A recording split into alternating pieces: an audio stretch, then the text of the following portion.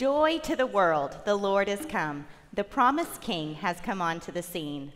He has left his eternal throne and has made his home in our neighborhood. the eternal Word through whom the world was created, arrived just at the right time to show the heart of the Father for the world. The song of the angels broke the deafening and oppressive silence of hopelessness in the world. Heralding the majestic Messiah, the prophesied Prince of Peace comes to deliver us from sin and inaugurate his kingdom and reign over all the earth.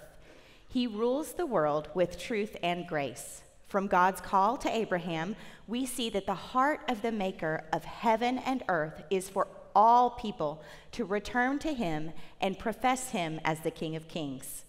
And one day, those who have made that profession will, as John tells us in Revelation, participate in the great gathering proclaiming with all the nations. To be the one seated on the throne, and to the Lamb be blessing and honor and glory and might forever and ever. Amen.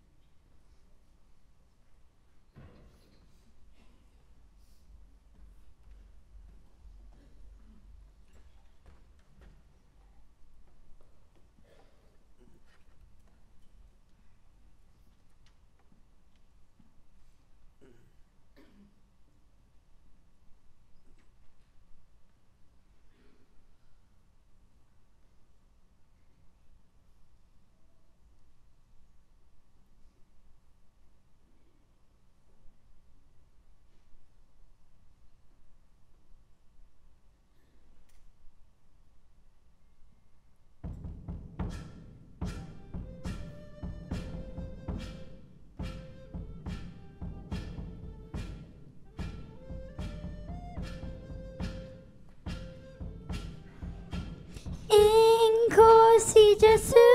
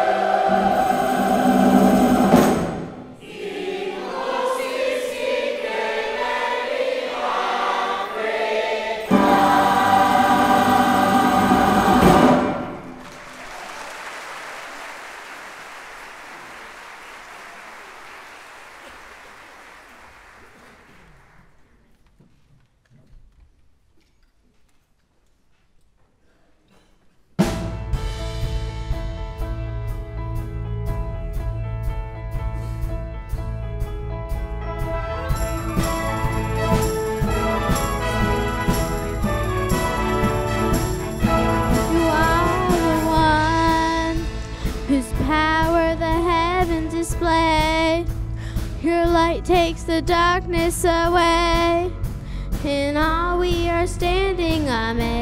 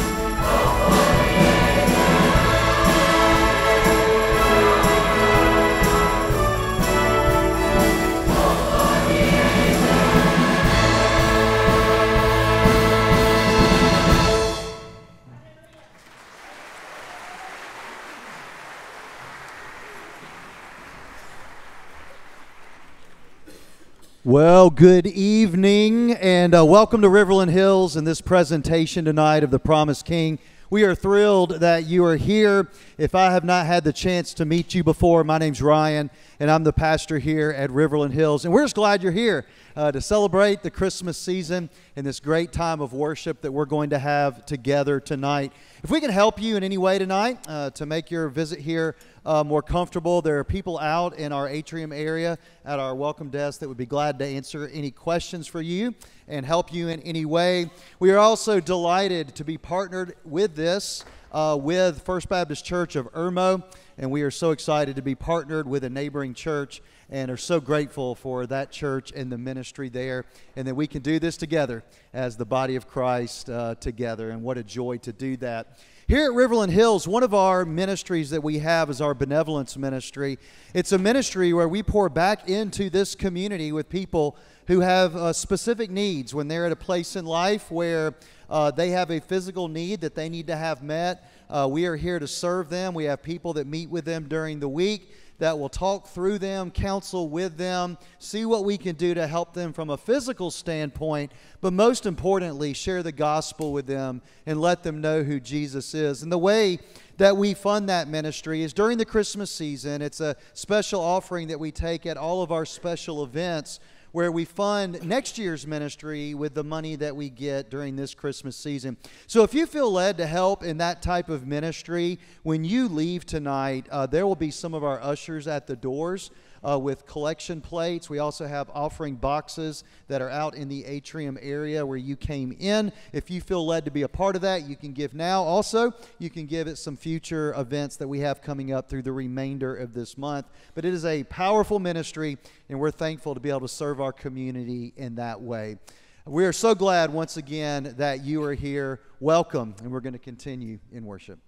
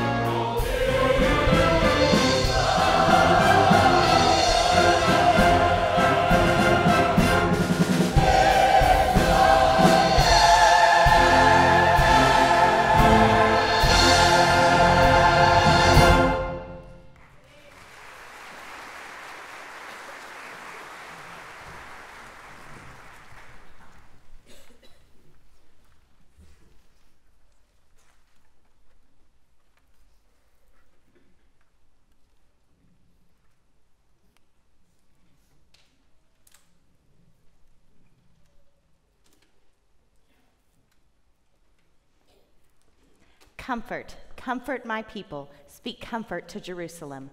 For the people who walked in darkness have seen a great light. On those living in a land of darkness, a light has dawned.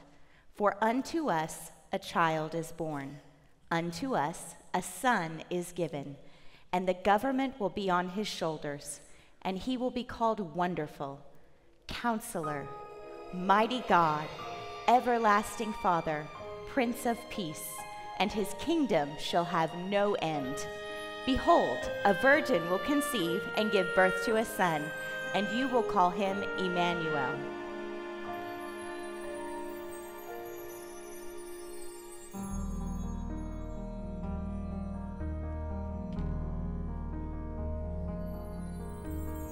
Hail,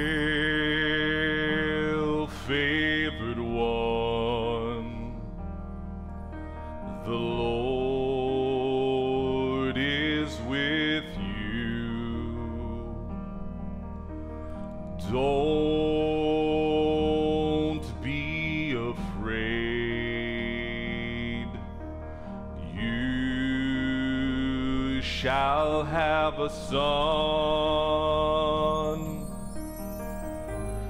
He shall be great, the Son of God Most High,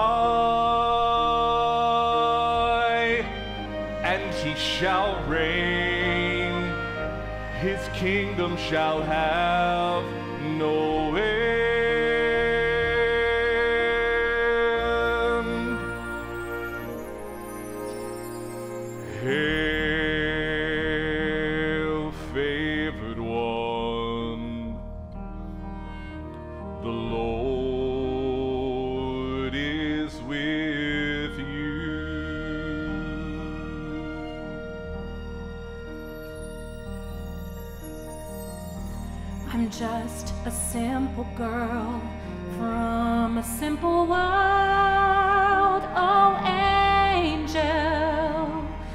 can this be?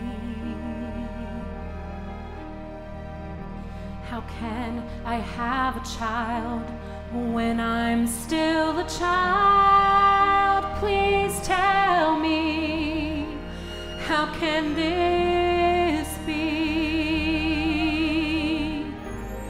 I'm still a virgin. What will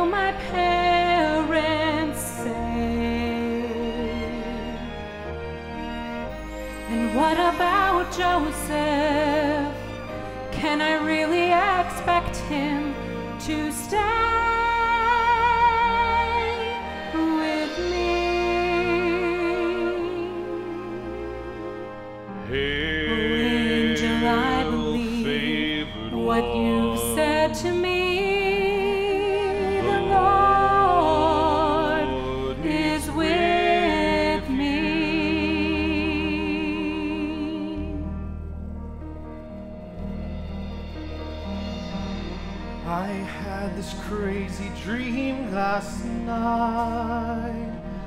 An angel spoke to me, said it's alright. Sweet Mary carries God's own son, and you shall call his name. shall bear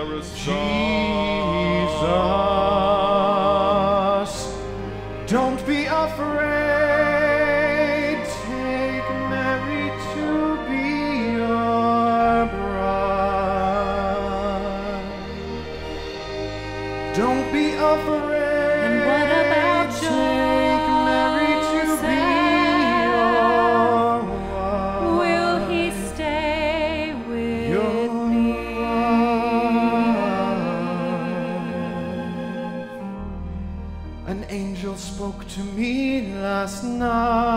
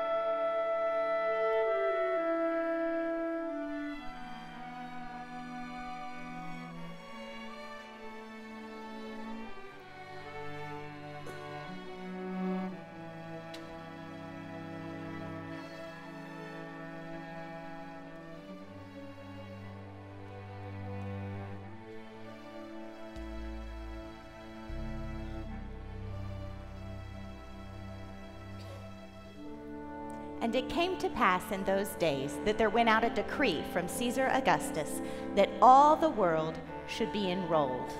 And all went to be enrolled, each to his own city. And Joseph also went up from Galilee out of the city of Nazareth and into Judea, unto the city of David, which is called Bethlehem, for he was of the house and lineage of David, to be enrolled with Mary, his betrothed, who was with child. And so it was that while they were there, the time came for her to be delivered. And she brought forth her firstborn son, and wrapped him in swaddling clothes, and laid him in a manger, for there was no room for them in the inn.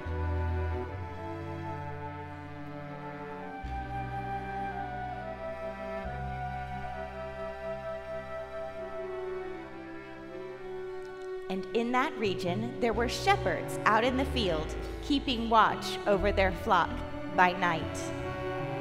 And lo, an angel of the Lord appeared to them, and the glory of the Lord shone round about them, and they were filled with fear. And the angel said unto them, Fear not, for behold, I bring you good tidings of great joy, which shall be to all people. For unto you is born this day in the city of David a Savior, who is Christ the Lord. And this shall be a sign unto you. You shall find the babe wrapped in swaddling clothes and lying in a manger. And suddenly there was with the angel a multitude of the heavenly host, praising God and saying, Glory to God in the highest, and on earth peace, goodwill toward all.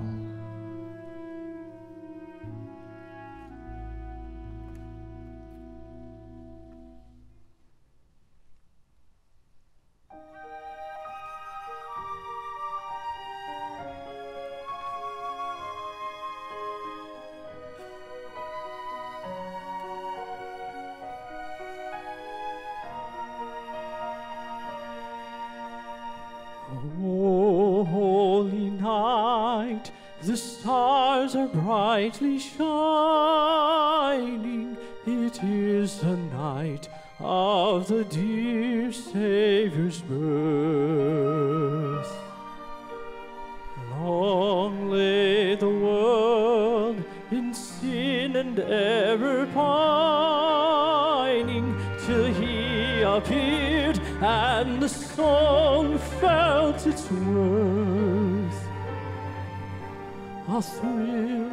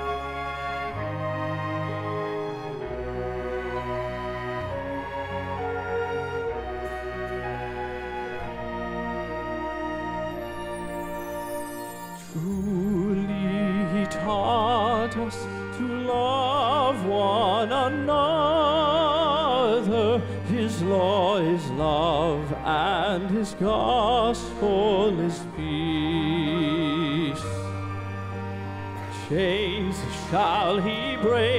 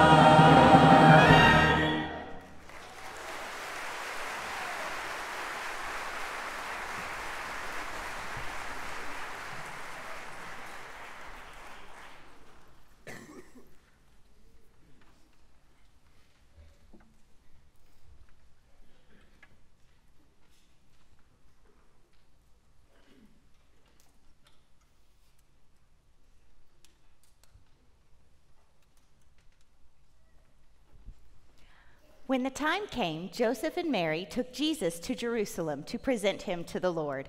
For as it is written in the law of the Lord, every firstborn male is to be consecrated to the Lord. There was a man in Jerusalem called Simeon who was righteous and devout. He was waiting for the consolation of Israel, and the Holy Spirit was on him.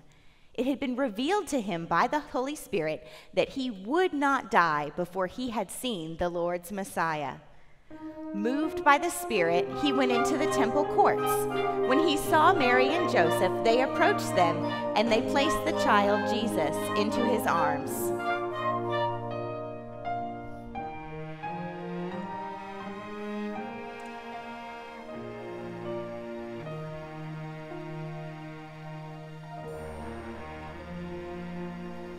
So many years of waiting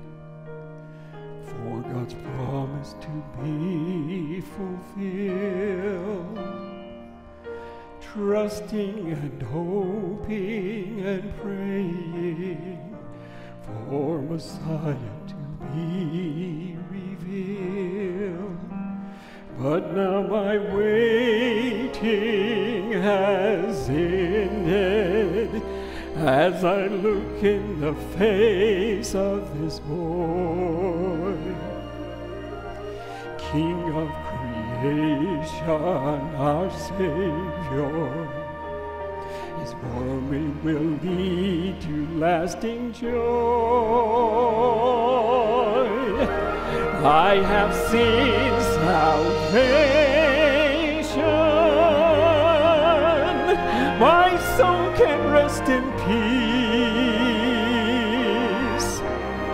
Emmanuel, God with kingdom will not cease. I have seen salvation. My faith has turned to sight.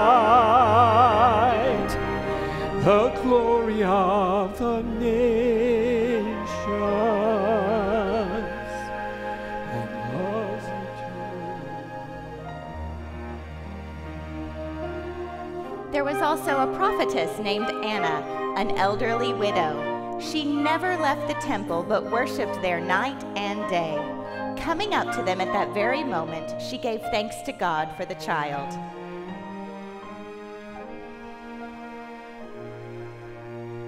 Day after day at the temple, I've been fasting and praying so long. Holding Messiah. Now my sighing is turning to song as the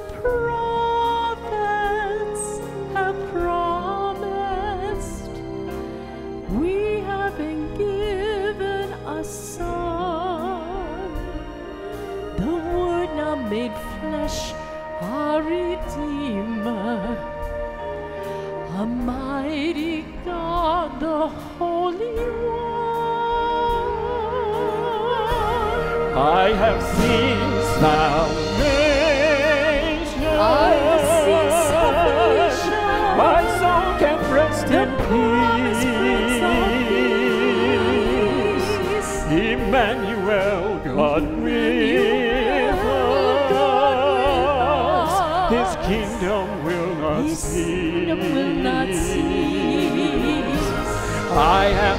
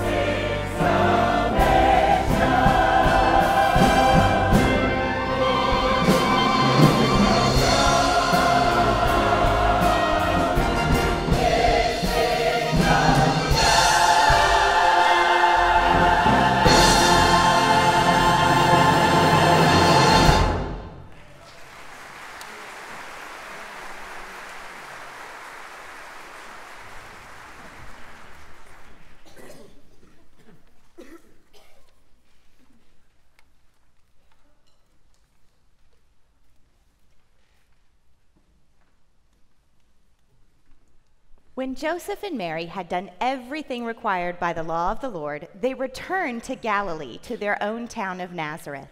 And the child grew and became strong. He was filled with wisdom, and the grace of God was on him.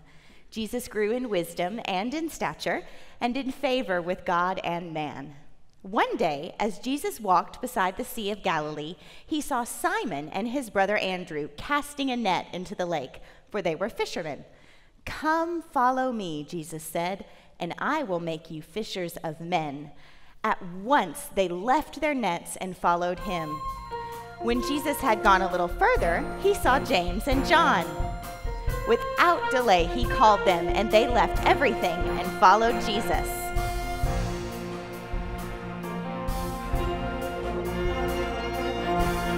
Look at him there. Sun in his hair, soon he will wear a crown. Born for this hour, he will seize power, bring all our enemies down. Look at his eyes, gentle and wise, heaven is in his face, hands in his touch. There is so much power and mercy and grace.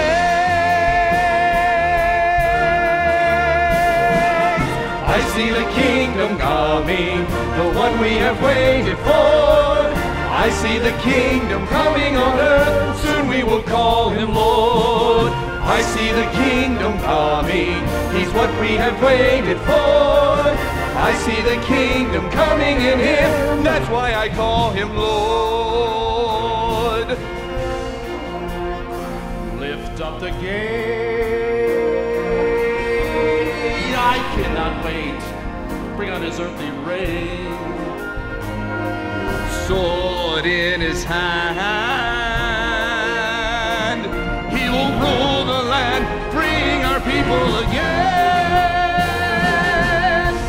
Look at me now, different somehow, and all because of him. Much more at ease, learning his peace and finding the joy from within. I see the kingdom coming, the one we have waited for. I see the kingdom coming on earth, soon we will call him Lord. I see the kingdom coming, he's what we have waited for. I see the kingdom coming in him, that's why I call him Lord. Soon we will call him Lord. I believe that Jesus is the Christ, the Son of the living God. So do I, Peter. The miracles and his teachings. Yes, it's just as Jesus said the kingdom of heaven is at hand. I see the kingdom coming, the one we have waited for. I see the kingdom coming on earth, soon we will call him Lord. I see the kingdom coming, he's what we have waited for. I see the kingdom coming in him, that's why I call him Lord. Soon we will call him Lord. I see the kingdom, I see the kingdom, I see the kingdom, I see the king, I see the kingdom coming.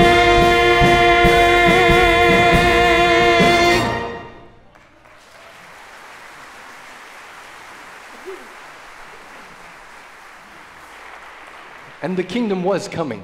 In fact, it was here with us, even though it wasn't the earthly king kingdom we all wished it would be. We wanted a king who would overthrow the Romans and establish Israel as the kingdom that had been under David, to rule the world and make us rulers as well. Jesus tried to tell us, but we weren't really listening. The kingdom of heaven is within you, he said. It was a kingdom of love, built on the personification of love himself, Jesus.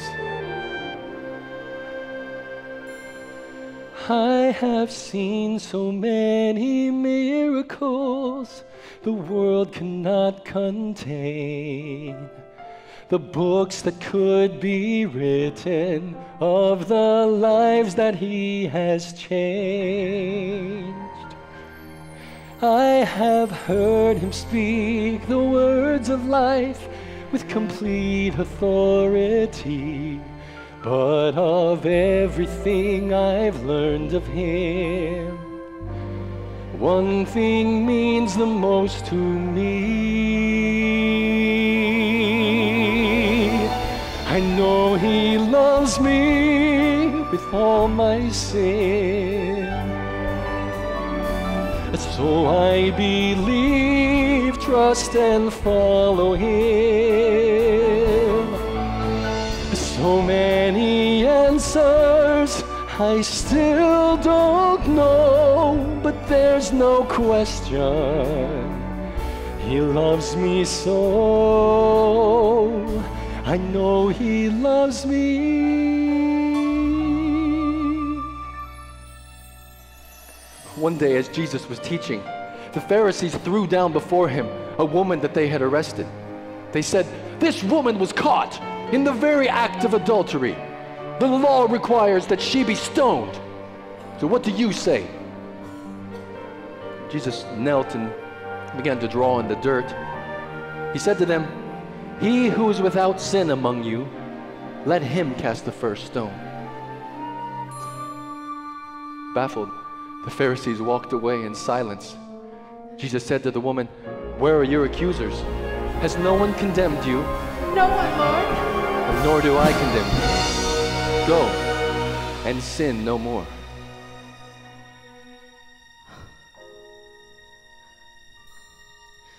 So many men have looked at me with hatred in their eyes, condemnation or their selfish lust and lies.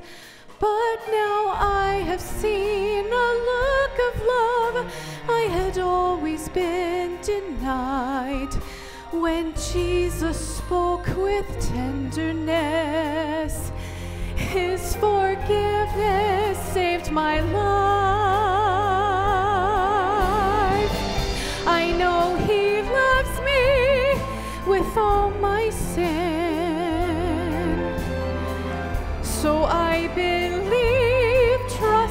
And follow Him.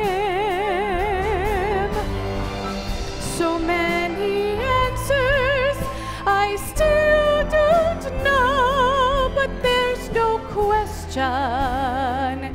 He loves me so.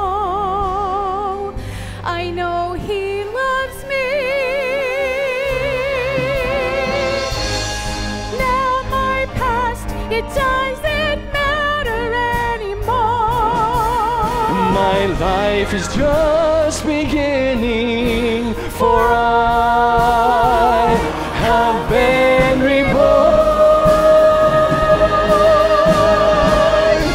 I know He loves me with all my sin. So I believe, trust, and follow Him.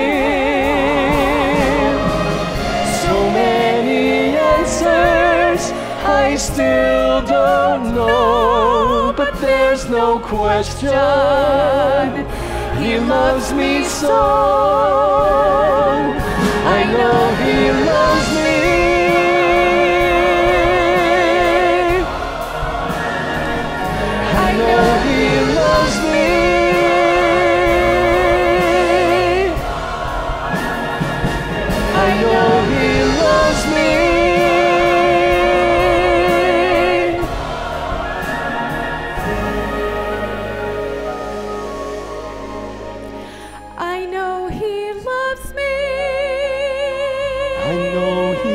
warms me.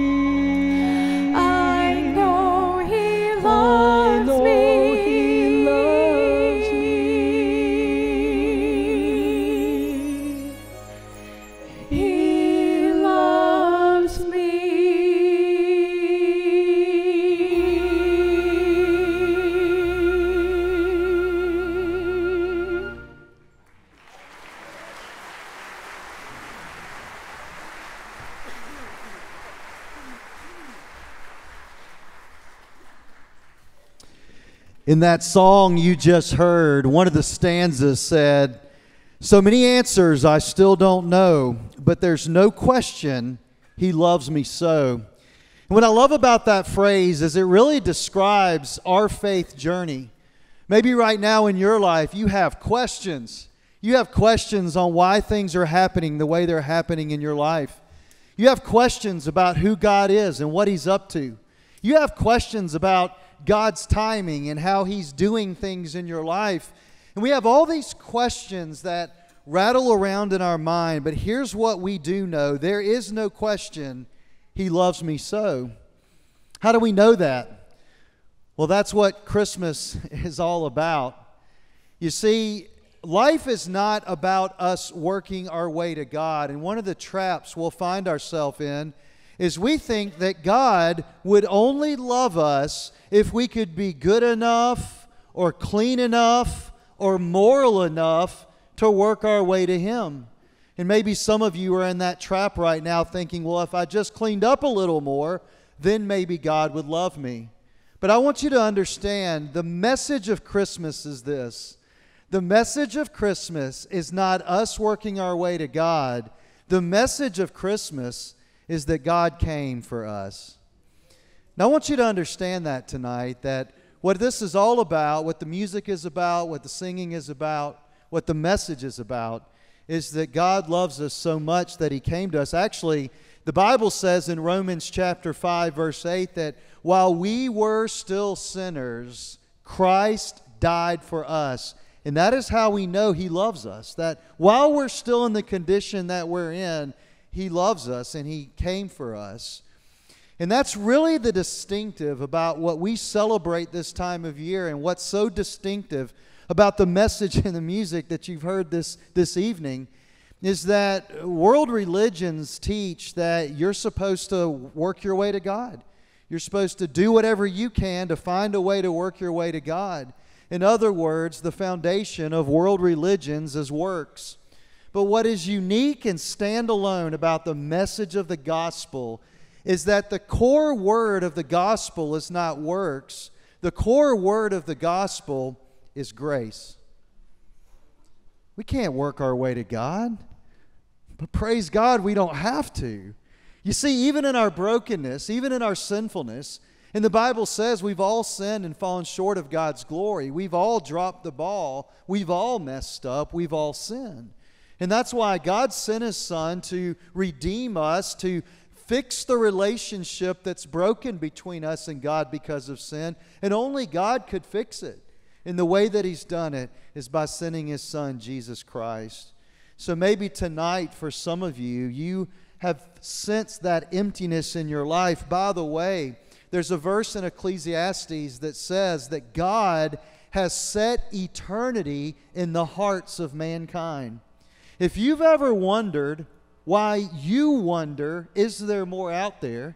If you've ever wondered why you wonder and you're asking the question, could there be an almighty God out there that loves me? The reason why in you you long for that and the reason why you're asking that question is because Creator God placed in you this sense of eternity, in this sense that there is more. But the only way you're going to discover that there is more is through what God's ordained through His Son, Jesus Christ. So maybe tonight, some of you need to make that decision to trust Christ, to, to, to know Him. And you might say, well, wait a minute, that sounds foreign to me. How would I do that?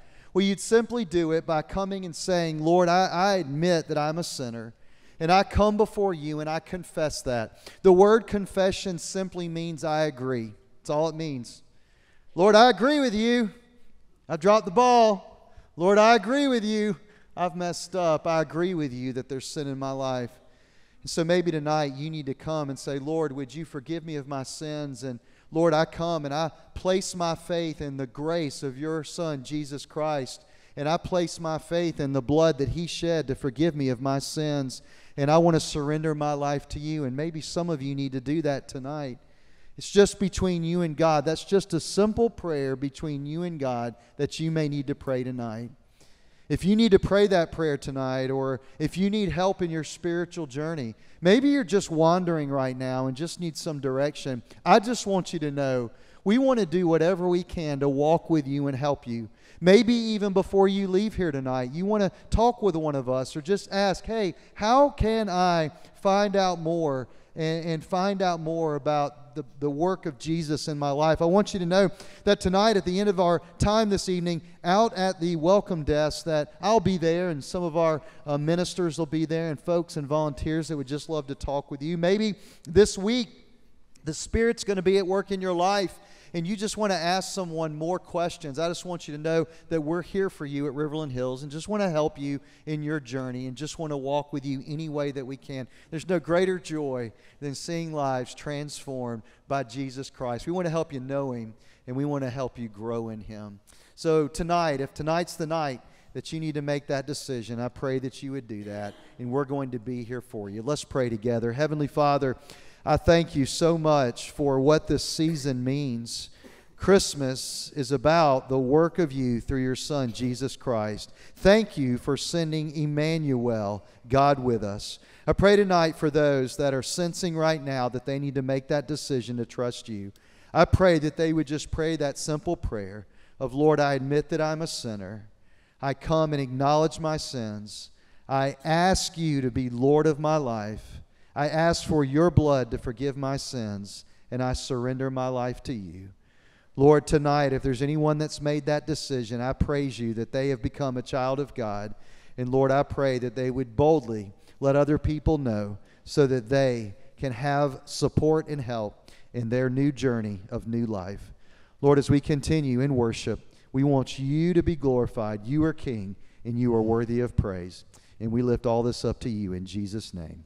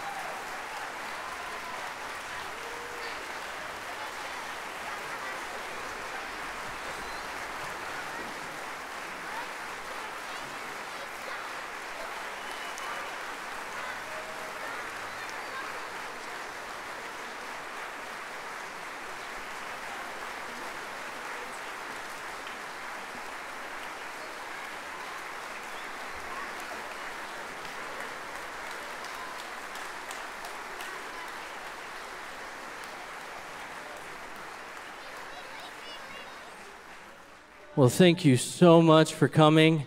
I hope you have a blessed Christmas season. Merry Christmas and hallelujah and amen. You guys are dismissed.